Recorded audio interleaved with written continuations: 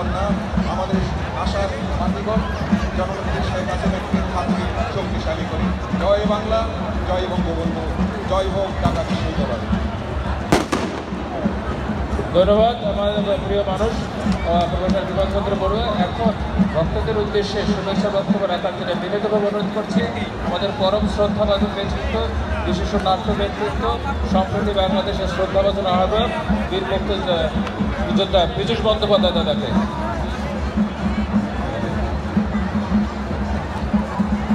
সবাইকে সম্প্রতি বাংলাদেশের পক্ষ থেকে আজকের এই পবিত্র দিনে